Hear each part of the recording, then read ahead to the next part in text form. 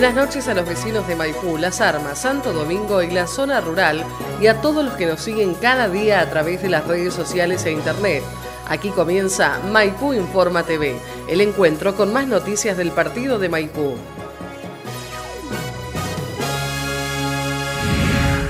La pasión del Mundial está entrando en sus tramos finales y decisivos. Estuvimos conversando con uno de los profesores de fútbol infantil de la Escuela Municipal de Deportes. Lo consultamos sobre cómo lo viven los chicos, cómo los ayudan a mejorar en su desempeño deportivo.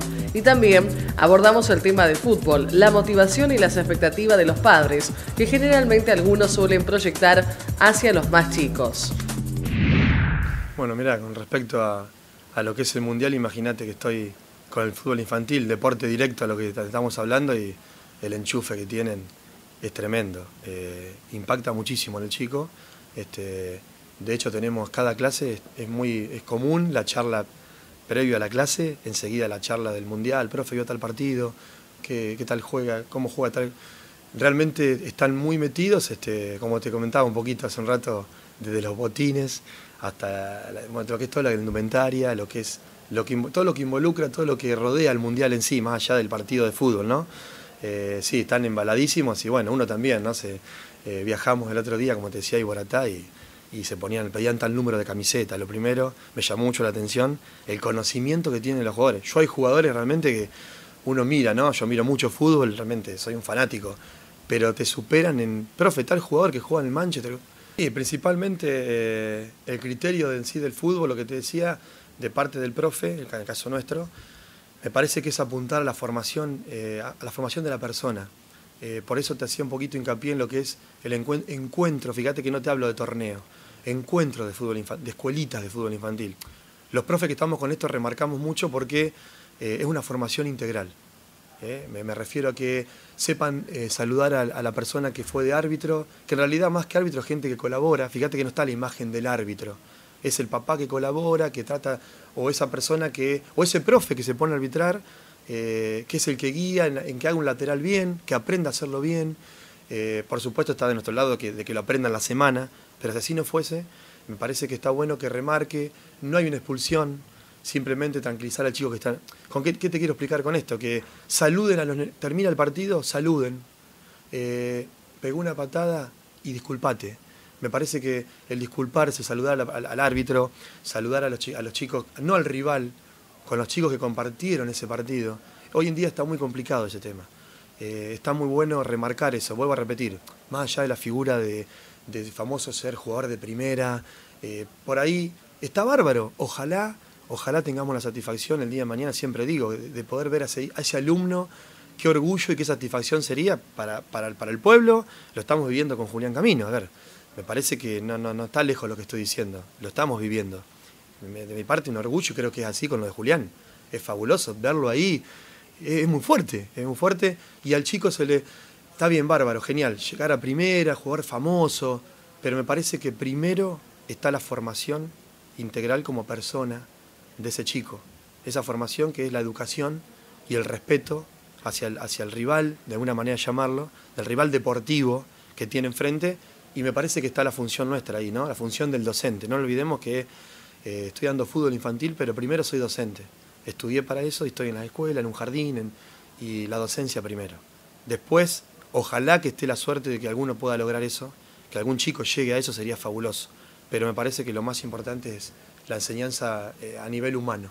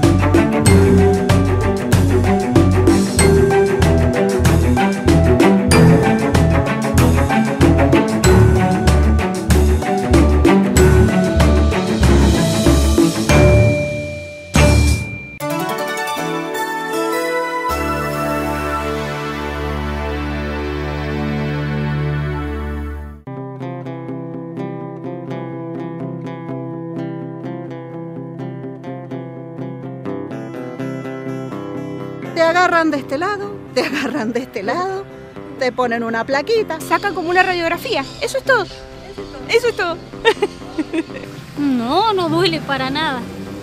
No es incómodo, es, rápido. Diez minutos o menos. A mí se me pasó volando. Gracias a Dios te lo puedes hacer gratis.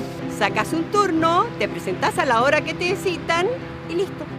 Hacerse la mamografía es prevenir, quererse uno y querer la vida, que es lo más grosso. Si no te haces la mamografía es porque no te querés. Es simple, cortita. A mí me gustaría ver a mis hijas recibidas, casadas, disfrutar mis nietos y tener una vida tranquila el día de mañana. Todo se puede prevenir. Es sencillo, los medios están. Si tenés más de 45 años, hacete una mamografía. 9 de cada 10 mujeres se salvan del cáncer de mama gracias al diagnóstico temprano.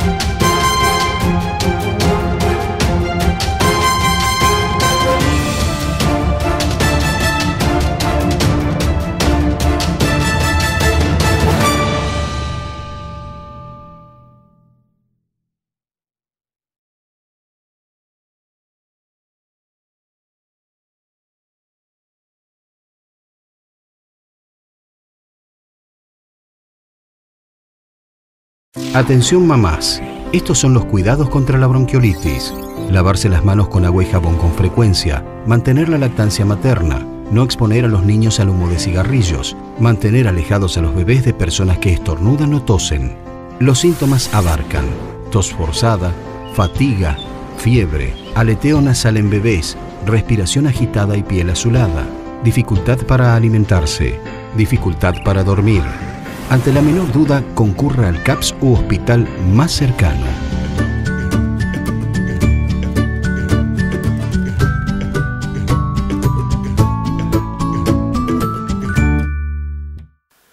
Lleva a Maipú donde quiera que estés. Te invitamos a seguir las noticias las 24 horas en las redes sociales y en internet www.municipiodemaipú.com.ar Facebook Municipio de Maipú, Twitter Maipú Te Quiero. Noticias actualizadas todo el día, todos los días.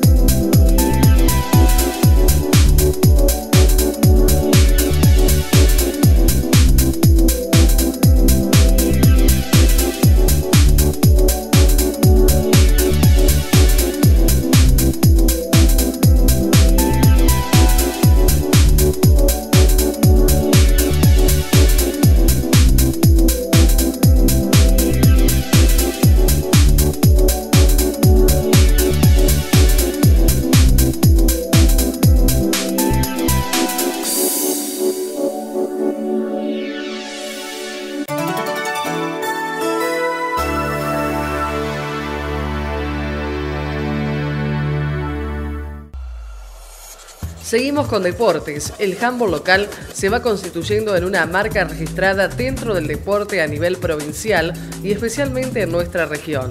Estuvimos con uno de los entrenadores de los equipos locales para conocer cómo viene el año, las proyecciones y cómo trabajan la motivación, los viajes y desafíos que vienen de las competencias.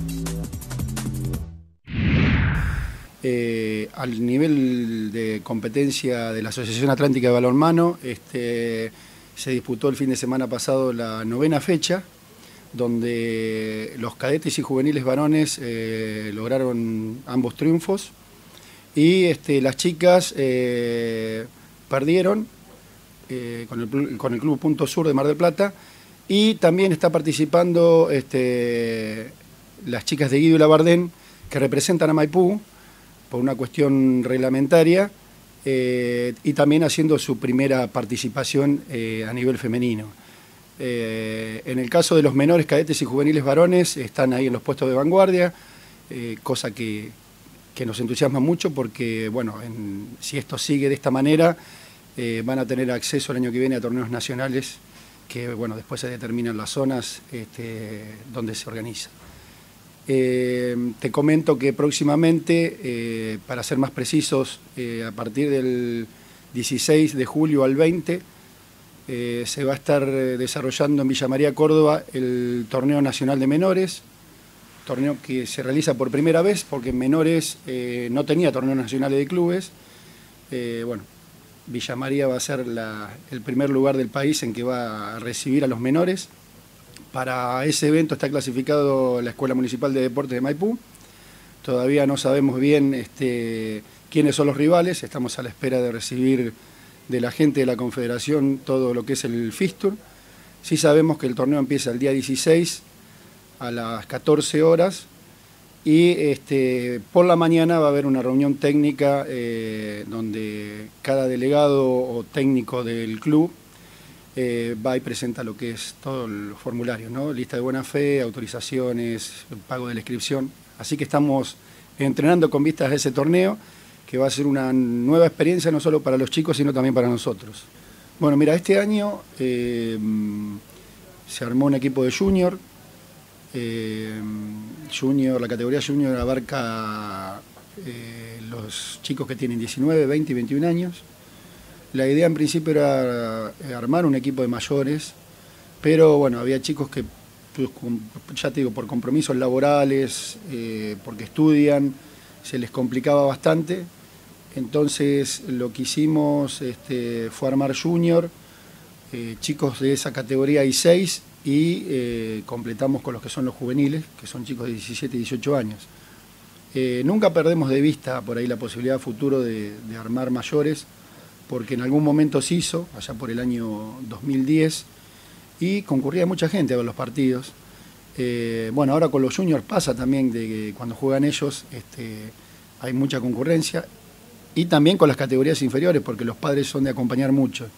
Pero sí, una idea es que siempre está latente, es tratar de, volver a armar mayores, pero siempre, ya te digo, estamos dependiendo de de la disponibilidad horaria que tengan los chicos. Ojalá pronto se pueda hacer porque como han pasado muchas camadas de jugadores, creo que hay este, una cantidad importante de chicos que eh, pueden llegar a conformar ese grupo.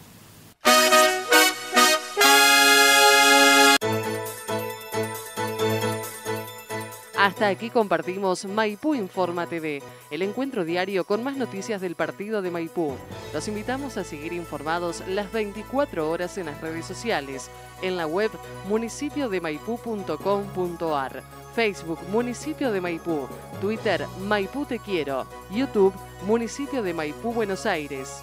Muchas gracias por acompañarnos y hasta el próximo encuentro.